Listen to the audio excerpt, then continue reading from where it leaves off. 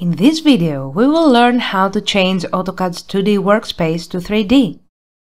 When we want to create 3D objects from 2D shapes, it is more convenient to change the workspace to have easy access to the 3D modeling tools.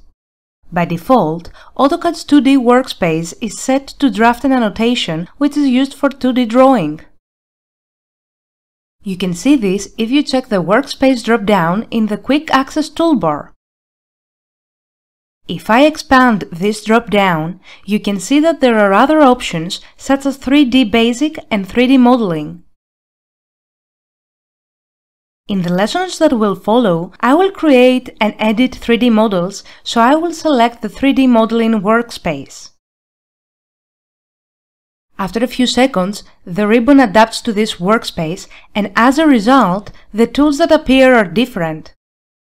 Notice also that the menu and toolbars disappeared. To make the menu reappear, I will expand the Workspace drop-down, which can be found in the Quick Access toolbar, and click on the Show Menu Bar option. Notice that now the menu appears above the ribbon. Now, to restore the toolbars, I will expand the Tools menu, hover the cursor over the Toolbars option, then hover over AutoCAD, and select the Standard toolbar. Notice that it appeared at the top of the drawing area. In the same way, you can display any toolbar you wish.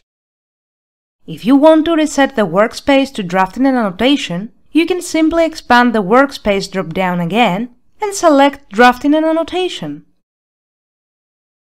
However, notice that the menu as well as the toolbars disappeared again. To prevent this from happening every time you change workspaces, you can save your own customized workspace. First, I will show the menu again. And then, I will also open some toolbars.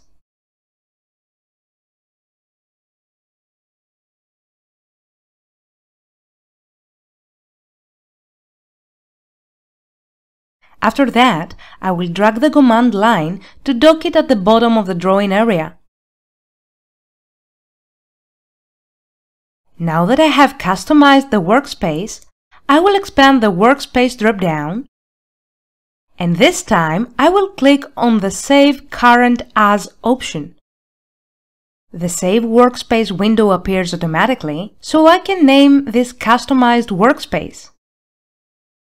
In this example, I will type the phrase My Workspace in the Name field and then I will click Save.